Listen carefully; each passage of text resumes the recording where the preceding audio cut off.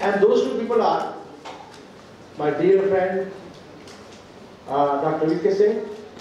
We have been working together for a very, very long time in the ministry, in the law commission, and I'm extremely happy to see you here, and I'm sure the institution will benefit from you. So, all the best luck to you, Dr. V.K. Singh.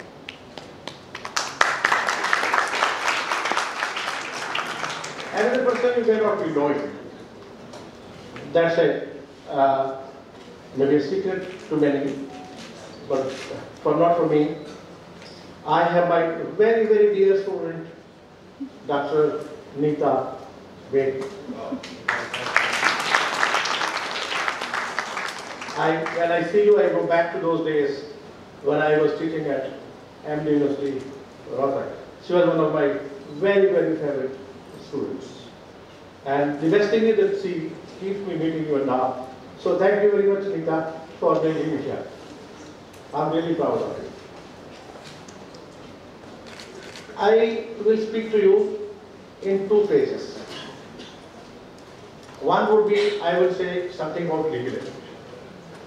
Because you are doing so much in, in these two, three days.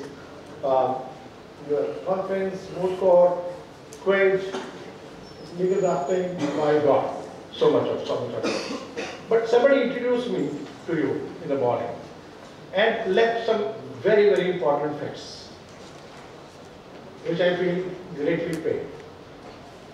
And I, I must share with you. How many of you are from a public school or a convent school, raise hands? Uh, students and teachers, everybody. Public school, convent schools. And how many of you are from village, villages? Exactly studying in a village? Nobody. So I'm an acute minority. My schooling till my higher secondary was in a village school. I wrote my takti and slate by the side of the pond. So, starting your education till higher secondary from a village, going to a college, going to Kuket University the first batch of LLB, and going to Rohtak to start another law department, being called to Bangalore as a professor, founding the first law school in the second law school rather in India uh, in the year 1998 uh, at a very young age of 46, 47. Uh, I became vice chancellor and stayed there for 10 years and then uh, they say you've done a good job so you say get out. Gone to Delhi to start another law school and so in that respect my age and your age is the same. I also started in 2008. Right? Law school, Delhi also started in 2008. These programs which you have, when I came to Delhi, my governing council where we have the Chief Justice of India, uh, the Chief Justice of Delhi, the uh, Arun Jaitley was there, Abhishek Singhvi was there, Justice Sharma was there who came to Supreme Court later on. And uh, Sheila Dikshit, they called me to their house for dinner and said, what is your roadmap for creating NLU Delhi? We want to do it fast. And uh, we want to take over the other schools. It was a very, very difficult question for me. And I said, the three most important mandates for any institution would be, listen carefully, even for you, would be to, to create a generation of lawyers, those who are technically sound, professionally competent, and socially relevant. If any school, any institution, any, any law university would be able to fulfill these three mandates, uh, you have your day. Because the, the today the, the landscape of legal education in the country is, do you know how many school uh, colleges you have? Anybody? Anybody, how many colleges you have? Let me check your, I, I asked you, I'm going to ask you questions. Uh, How many law colleges you have? Well, let the students answer. Sixteen hundred colleges. Sixteen hundred. How many law faculties?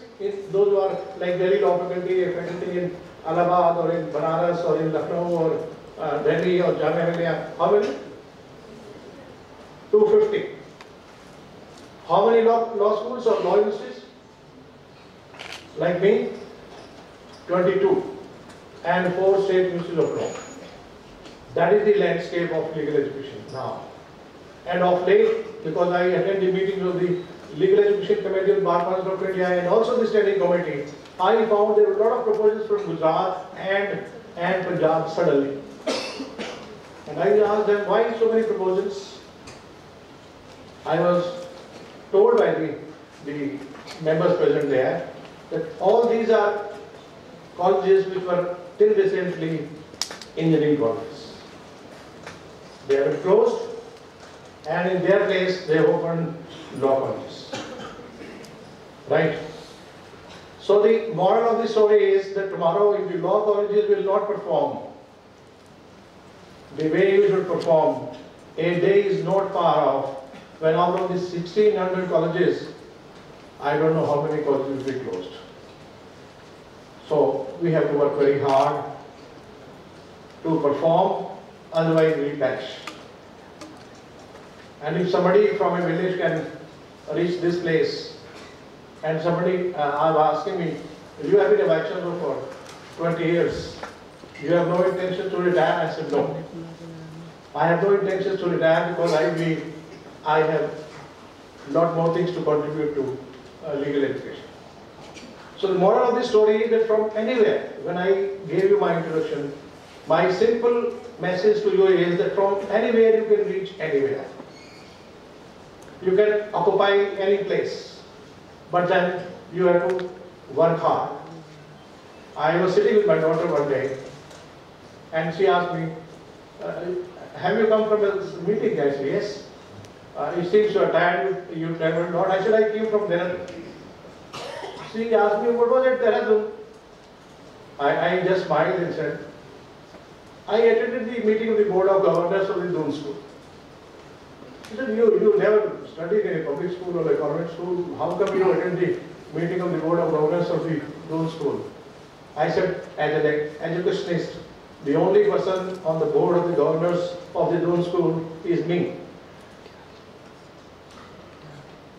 A person, believe me, when I went to Dehradun for the first time to attend the meeting, I had to struggle to first find out where is the Doon School. And there were many gates I went around and I never wanted to sound as a fool that I don't know where to enter from. I found one gate, second gate, third gate, and then I stopped somewhere and asked, which gate you enter the premises of the Doon School? And then somebody told me you go from gate number so and so, so and so. And you find library, the meeting will happen there. Right?